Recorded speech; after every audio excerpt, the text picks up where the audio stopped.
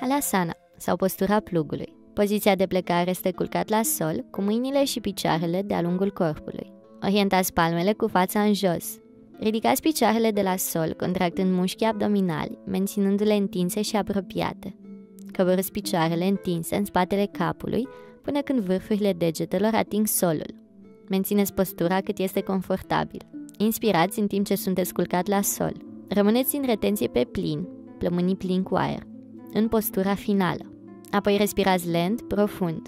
Această postură nu este recomandată persoanelor care suferă de hernie, hernie de disc, sciatică, hipertensiune arterială sau orice altă afecțiune la nivelul spatelui, cu precădere spondiloza cervicală.